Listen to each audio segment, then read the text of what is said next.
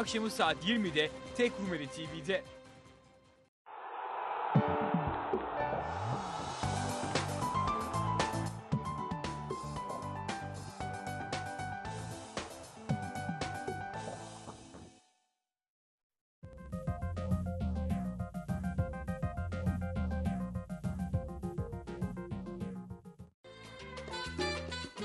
Yüzde yüz kalite. Doğru fiyatlardan yüzde elliye varan indirim.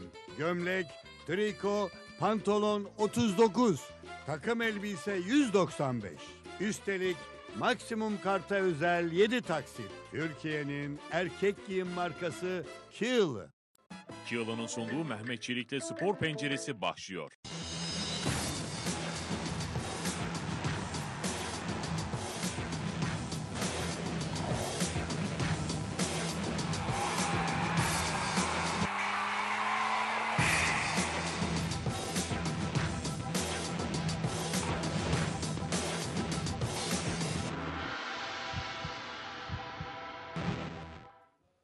Mehmet Çelik'te Spor Penceresi'nden herkese iyi akşamlar. Yine bir perşembe akşamı ve amatör branşların, olimpik branşların öncüsü programında Mehmet Çelik'te Spor Penceresi'nden tekrar tekrar hepinize iyi akşamlar efendim. Bu akşam yine fırtına gibi program olacak. Her zaman olduğu gibi birbirinden değerli konuklarımız birbirinden önemli konuları sizlerin ekranında bu masada e, paylaşacağız, anlatacaklar, aktaracaklar. Her zaman olduğu gibi belediyelerin önemli destekleri var spora ve biz her zaman yerel yönetimlerde tabii mega kentlerin patronları, belediye patronlarının yanı sıra tabii ilçelerde e, özellikle e, spora yerel yönetimlerde destek veren, tesisleşmede devleşen e, ilçelerimiz var. İşte bunlardan bir tanesi tam 39 ilçesi var İstanbul'un ama avcıların yeri bir başka durumda. Zira başarılı bir başkan, sporcu kimliği ve bunun yanı sıra e, spora yapmış olduğu katkıları hep önde tutan Sayın Mustafa Değirmenci'den bahsediyorum. Bu akşam Sayın Değirmenci konuğumuz olacak. İstanbul'un parlayan yıldızı olacak demişti ve öyle de devam ediyor.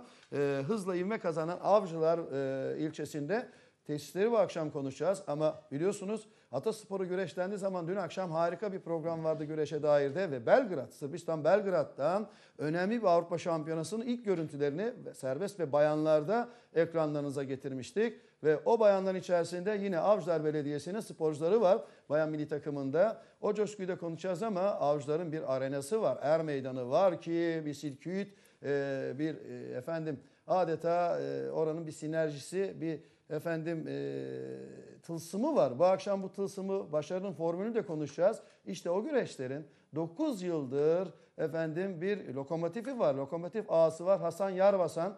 Sayın Yarbasan da bu akşam konuğumuz. Tabii e, yine ilerleyen dakikalarda çok önemli telefonlarımız olacak. Türkiye'nin hemen hemen önemli bölgelerinden gelecek federasyon başkanları, kaymakamlarımız ve tabii ki önemli illerden muhabirlerimiz bize bilgiler aktaracaklar. Ben hemen sözü konuklarıma aktarmak istiyorum. Efendim tekrar hoş geldiniz. Hoş bulduk. İyi yayınlar Mehmet Beyciğim.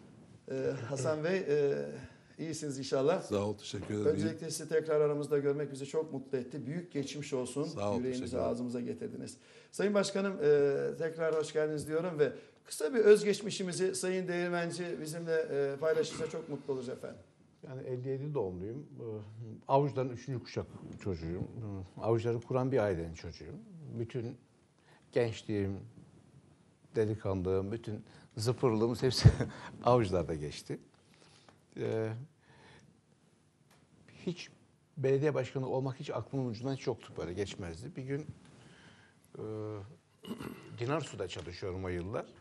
E, uçakla Ankara'ya gitmem gerekiyor ve o kadar güzel bir yolculuk yaptım ki bir tarafımda Allah rahmet eylesin Bülent Ecevit, diğer tarafında Rahşan Ecevit'le birlikte gittim ve e, 26 Mart e, 89 seçimlerinden iki ay sonra falan sanıyorum e, Küçükçekmece Demokratik Sol Parti ilçe başkanlığına atandım.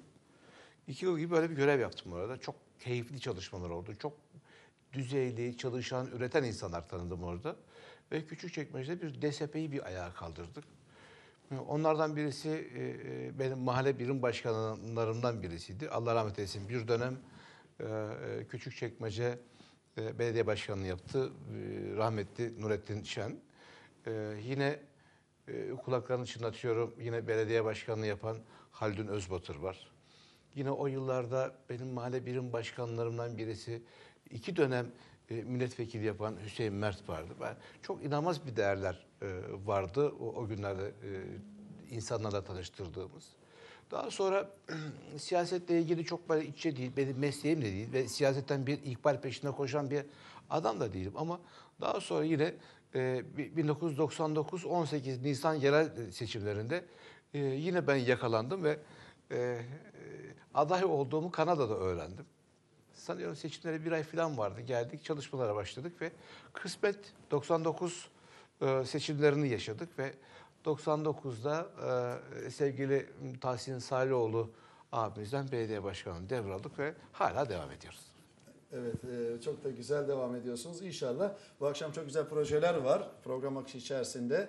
Tüm ekrandaki amatör hayranlarına bunları aktaracağız. Sayın Yarbasan, sizin de bir özgeçmişinizi alalım. Hasan Yarbasan kimdir bizimle paylaşırsanız? Peki. Ben 1951 doğumluyum. Aslan Kırklareli, Vizeliyim.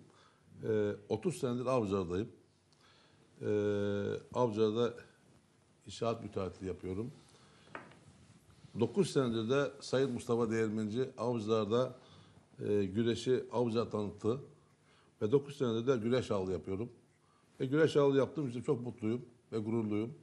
Sayın Başkan'ın avcılara güreşleri tanıtması avcı halkını da memnun kıl- kılmıştır ve çok da güzel bir güreşler oluyor avcılarda. Evet, çok büyük emeğiniz var. Tekrar tabii bir e, ufak rahatsızlık geçirdiniz. Buradan hemen e, ekranları da başındaki değerli e, izleyicilerime geçmiş olsun nedenini aktaralım.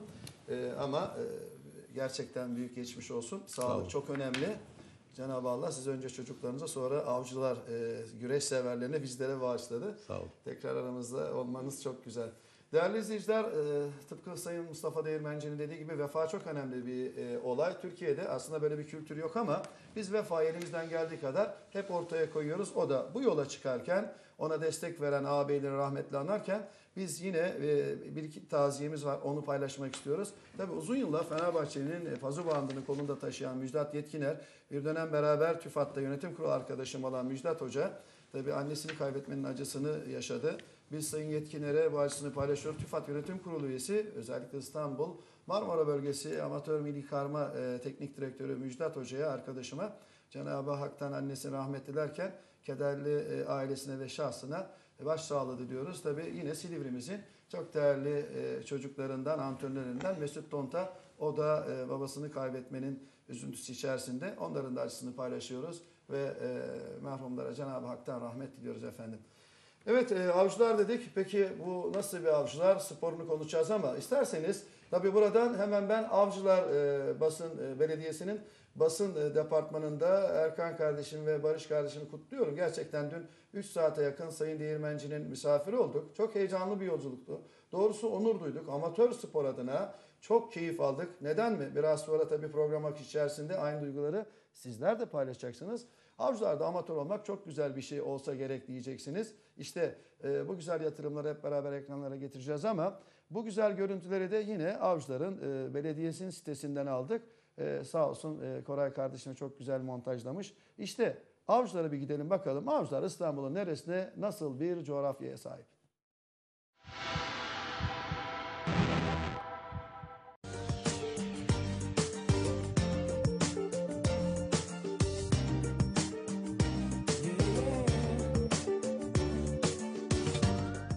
İstanbul'un en hızlı gelişen ilçelerinden biridir Avcılar. Öyle bir konumu var ki hakikaten tam kavşak noktalarından biri İstanbul'da. Bir kere İstanbul'un batısında Avcılar. Marmara Denizi'nde sahili var. Tem diye bilinen otoyolu ilçe sınırlarından geçiyor ve üç parçaya bölüyor Avcıları.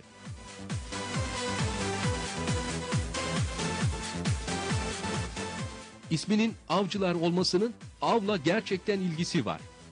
Bakmayın siz betondan blokların şu anki istilasına. Öyle çok eski değil. 1970'li yıllarda bıldırcın sürülerinin çokluğu avcıların buraya çok rağbet etmelerine sebep olmuş. Ve buraya avcılar denmeye başlanmış. Sonrasında gelen istimlak derken binalara eklenmiş yeni binalar almış gitmiş başına avcılar. Genişlemiş de genişlemiş.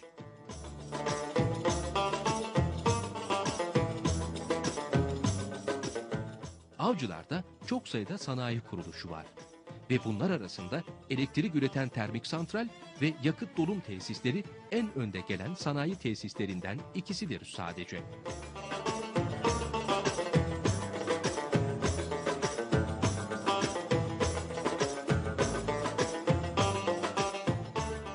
Avcılarda genelde İstanbul dışından gelenler ikamet eder ve bu oran %70'e tekabül eder.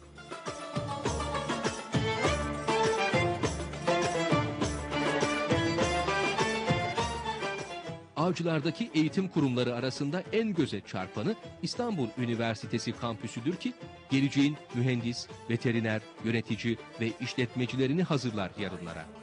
Ve tabii bu kampüsün getirdiği ekonomik sirkülasyonun da ilçeye büyük bir katkısı vardır.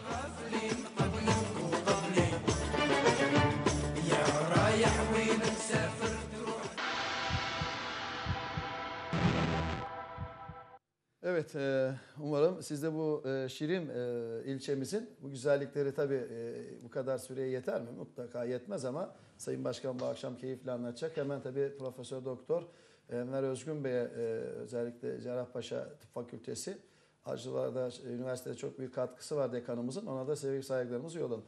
E, başkanım e, gerçekten güzel bir e, görüntü var avcılarda. Hummalı çalışmalar var. Ama dünkü gezimizin şöyle bir özetleyecek olursak siz konuşurken görüntüler de ekrana gelecek. Hemen ben avcılarda tabii belediyede basından Kenan kardeşime özellikle teşekkür, e, tekrar teşekkür etmek istiyorum. Dün gerçekten e, Tahtakale'de bize çok büyük destek verdi. Hemen sözü size bırakın. Buyurun efendim. Aslında bir büyük bir projeydi bu. Sanıyorum 2001 veya 2000 yılında başlayan bir bizim bir hayalimizdi. Aslında hayalimiz şu. Bir defa sporda bizim en önemli eksikliğimiz tesisleşme ve tesisle birlikte kurumsallaşma, kurumsallaşma ile birlikte gelecek olan disiplin. Yani bir defa spordaki kesin kaçılmaz noktalardan bir tanesi bu. Biz e, burası e, stadın olmuş olduğu yer dedelerimin yani Firuzköy'de yaşamış olan dedelerimizin bizim de çocukluk zamanında orası harman yeri olan bir yerdi. O Avcılar'daki emlak değerlerinin çok yüksek olması, belediye, belediyedeki taşınmazlarımızın, envanterimizin olmaması bizi e, Firuzköy'deki belediyemize ait olan bu yer üzerine sevk etti. Ve biz burada gerçekten tarlaydı. O yıllarda amatör spor kulüplerimizin orada idman yapmış olduğu bir kum ve toprak bir sahaydı burası. Bununla ilgili eğer jenerikle ilgili ilk hali ve çalışmalar falan var. Onları bir verip e, bugüne doğru gelirsem e, dünkü olan görüntülerle tekrar birlikte. onlar da hazırlıyor Burası, arkadaşlarımız. burası tarlaydı ve bu tarlayla birlikte bir proje başladık biz. Ee, iki tribün yaptık. A tribünü ve B tribünü. A tribünü ve B tribünüyle ilgili toplam 5000 kişi, şey, 10 bin kişinin oturacak olduğu bir tribün yapalım. Ama öyle bir şey yapalım ki... Başkanım çok özür diliyorum. Ee, şu anda o görüntüleri ekrana getiriyoruz. Ee, Evet. da- konu dağılmaması için oradan bir başlayalım. Evet, Dünü oradan- ve bugünü Oradan ilerleyelim. geçmişten bugüne doğru geliyoruz. Peki yani. başkanım. Evet. Bu çalışmalarla e, başladığımızda bu stat öyle bir şey olmalı ki yani e, ülkemizde olmayan tarzda bir stat olmalı. Kendine has bir kimliği olmalı. Bu, bunun estetik ve görselliğiyle ilgili e, muhteşemliği olmalı. İşin içerisine girdiğinizde yani sınıf içerisine girdiğinizde o stat sizi sarmallamalı. Sıcacık o spor